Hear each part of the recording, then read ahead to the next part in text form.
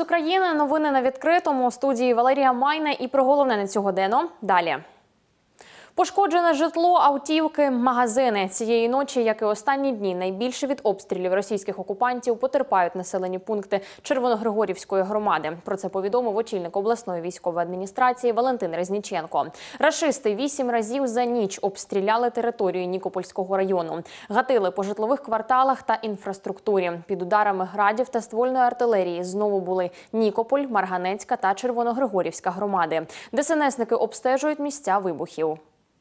Внаслідок обстрілів е, у Червоногригорівській громаді пошкоджені сім приватних будинків та дві господарчі споруди, понівечені магазин, автомобіль та 20 сонячних панелей.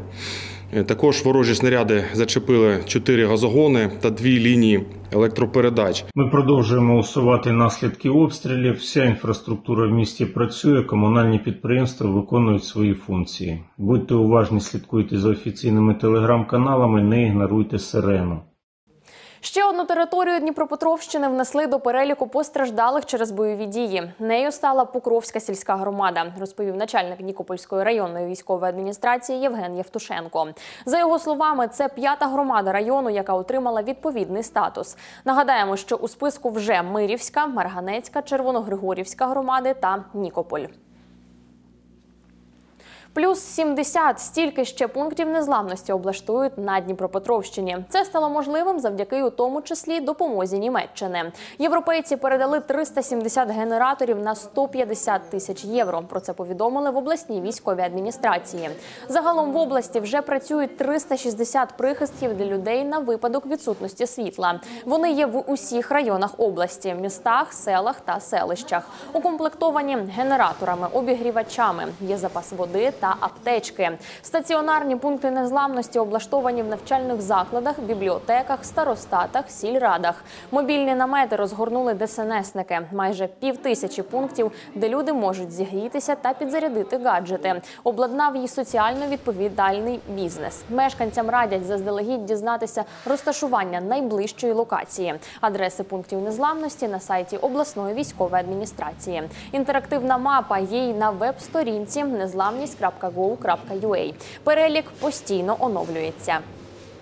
Пункти незламності працюють 24 години на добу і незалежно від свят, незалежно від е, якихось е, там дат чи того чи іншого. Це обов'язково вони повинні і вони працюють в нашій області 24 на 7, тому що ми розуміємо, що ворог підступний, він намагається знищити саме критичну інфраструктуру, саме енергетичні об'єкти і ракетні, е, скажімо, тривоги постійно в області. Банки, попри відсутність світла, обслуговуватимуть клієнтів. На Дніпропетровщині зараз 134 такі відділення. Фінустанови України вирішили протистояти викликам війни разом. Тож створили цілу банківську мережу, яка працюватиме в умовах блекауту. Вона об'єднує 14 системно важливих банків. Загалом по країні вже понад тисячу відділень додатково оснащені для роботи на випадок відключень електрики. Відтак клієнти зможуть отримувати готівку, переказувати кошти, обмінювати валюту та в разі необхідності отримати консультацію менеджера.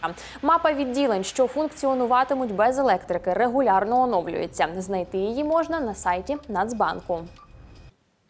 Лікарні Дніпра готові до автономної роботи в умовах можливого блекауту. Нині забезпечені генераторами 56 міських медзакладів, зазначає черговий по місту директор департаменту охорони здоров'я населення Андрій Бабський. Також у медиків є запаси їжі, води та медикаментів на півроку.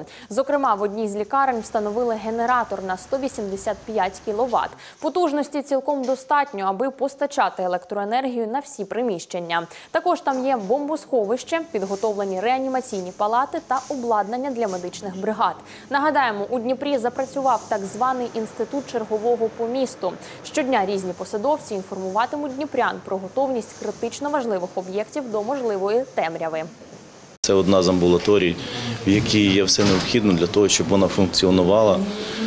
Звичайно, у штатному режимі під час блекауту тут є генератор і 5,5 кВт. Тут є запас питної, технічної води. Досвід під час роботи минулого блекауту показав, що Заклад це функціонує в штатному нормальному режимі. Люди приходять, отримують меди- медикаменти, отримують медичну допомогу, можуть отримати рецепти електронні. Встановили сучасне обладнання та продовжують рятувати людей. Одну з лікарень Новомосковська озброїли новими апаратами. Частина кошти благодійників за програмою United 24, решта місцевий бюджет. Фінанси склали і відремонтували перший поверх корпусу медзакладу. Що закупили та як працює новеньке приладдя, бачила знімальна група відкритого. Сьогодні серед пацієнтів Станіслав. Чоловік розказує, у лікарнях буває вкрай рідко, та ось, начебто, зламав палець, тому звернувся по допомогу. Получил травму, м, пришел сделать рентген, узнать, в чем причина, что дальше делать, как, какие действия дальше предпринимать. Будем либо операцию делать, либо выравнивать, вытягивать. Коли ожеледиться, у травматолога ажіотаж, ділиться лікар Юрій. Тоді у пригоді стає новий рентген. Під час зимового періоду, розказує медик, найчастіше звертається по допомогу через переломи, пошкодження зв'язок та суглобів. Також фаворитами залишаються скарги на артроз, артрит та біль у спині. Дуже добре те, що ми переселились на перший поверх, і дуже добре, що встановили рентген обладнання на першому поверсі. Тому що люди і на милицях ходять, деякі на інвалідних візочках, і на ходунцях. І їм дуже зручно з кабінету перейти метрів 10 і вони вже на рентгені. І сучасний, якісний, дуже гарно видно все кісткову структуру і суглобові. Коли пошкодження хрящової тканини іде, тоді дуже ну, краще видно, чим на старому обладнанні. Загалом для лікарні закупили майже чотири десятки нових апаратів. Це операційні столи, прилад для вакуумної терапії ран, наркозно-дихальний апарат та апарат зовнішньої фіксації. Оновили й зовнішній вигляд лікарні. Ми е, суттєвий прорив в цьому році змогли зробити щодо е, осучаснення обладнання лікарні. І е, я так розумію, що треба відображати і внутрішній стан, і зовні відображати. Тому і зробили такий невеликий ремонт е, на першому поверсі, де ми з вами знаходимося, на вхідної нашої групи, для того, щоб е, людям, які звертаються до лікарів, було просто приємно заходити сюди Завдяки глобальній ініціативі United 24 Україна має додаткові фінанси для відновлення та підтримки медичної сфери. Зокрема, лікарні Дніпропетровщини вже отримали допомогу на понад 64 мільйони гривень, зазначають в обласній військовій адміністрації. Ми розуміємо, часи дуже важкі і в економічному плані, і в моральному, йде війна, але е, медицина не зупиняється. Ми надаємо допомогу 24 на 7, і для цього потрібно і обладнання, і оновлення матеріально-технічної бази. І, і ця лікарня як приклад того, що ми йдемо вперед, не глядячи ні на що. Новомосковська лікарня щодня приймає десятки пацієнтів. Тут лікуються як місцеві, так і переселенці. Ніколь Савченко, Анастасія Вільхова, Open News, телеканал відкритий.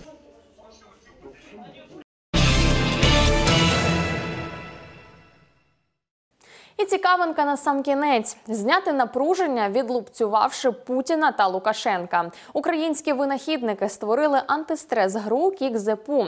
Погравши, можна вбити двох зайців, відвести душу та допомогти нашій армії. Частину прибутку від реклами у безкоштовній версії айтішники надсилатимуть на потреби ЗСУ. А весь виторг за преміум доступ направлять на лікування українських бійців. У забавці дозволено знущатись не тільки над президентами РФ та Білорусі, а й кадирівцями та, як кажуть розробники, чмонями. Незабаром у списку на тортури будуть й інші російські пропагандисти. Гра доступна в Google Play та App Store. Вартість платної версії 99 центів.